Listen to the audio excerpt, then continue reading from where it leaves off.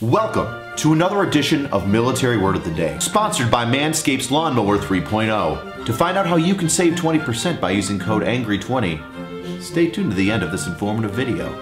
Today's word is barracks bunny. A barracks bunny is any man or woman that stays with a military member in the barracks. By hopping from one military member and room to the next and the next, I mean boning. Barracks bunnies have a symbiotic relationship with the military member with whom they're staying with. The barracks bunny is given shelter, food, and protection from the elements by said military member. In exchange, the military member is given sex.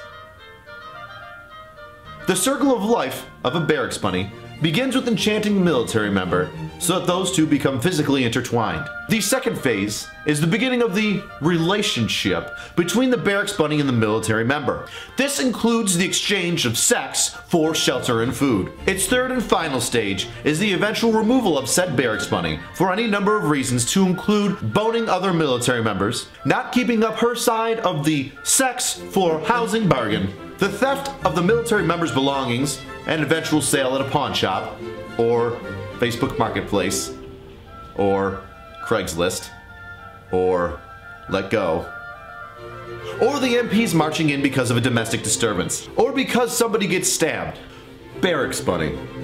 And now, a word from our sponsors. Hey there, fella. We've seen you shower. You're the dude that has weird patches of body hair everywhere. That random tuft above your ass crack looking like Sasquatch gave you a tramp stamp? That needs to go, bro. And that can all happen with Manscaped's Lawnmower 3.0.